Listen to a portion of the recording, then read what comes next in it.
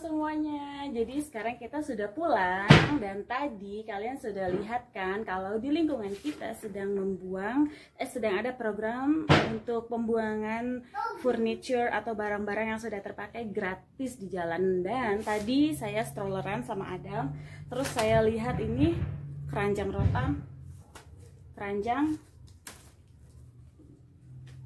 ember buat ngepel, keranjang pot bunga pot bunga.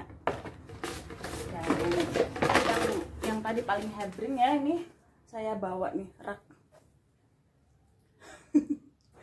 Nemu guys di jalanan lumayan daripada beli kan? Lumayan juga beli. Nah jadi tinggal dicuci bersihin pakai sabun nanti bisa dipakai Halo semuanya, kalian bisa lihat seperti inilah sampah-sampah perabotan yang sudah tidak terpakai lagi dan mereka buang di depan jalan sini ya. Jadi untuk event pembuangan perabotan ini, kalau nggak salah itu setahun dua kali atau setahun sekali. Nah jadi dimanfaatkan oleh warga sekitar untuk membuat untuk membuang perabotan-perabotan yang sudah tidak terpakai lagi. Dan kalian bisa lihat di sini kan banyak juga tuh lihat perabotan yang mungkin sepertinya kalau untuk kita di Indonesia wah masih bisa di recycle atau digunakan lagi.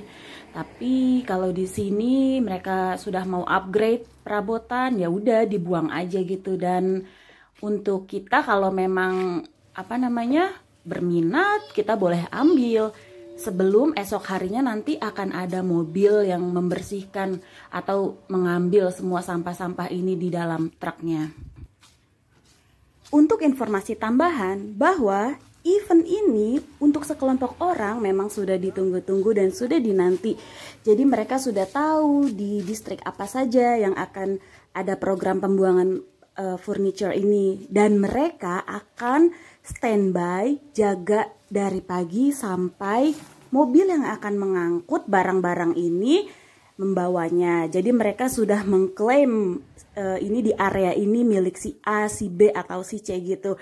Dan sepertinya ini sudah dijadikan ladang bahan bisnis bagi sekelompok orang tertentu. Makanya kalau kita mau ambil-ambil dan kita lihat ada orang nggak bisa sembarangan karena mereka akan melarangnya juga gitu. Well, semuanya bagaimana menurut kalian tentang tayangan pembuangan sampah perabotan di kota Budapest, Hungaria kali ini? Sangat menarik banget kan? Kalian dapat melihat sisi lain kehidupan di kota Budapest, Hungaria yang sangat berbeda sekali dengan kehidupan kita di Indonesia. Semoga tayangan ini dapat memberikan manfaat, informasi, dan wawasan untuk kalian semua. Terima kasih sudah menonton. Jangan lupa like dan subscribe ya. Terima kasih. Bye bye.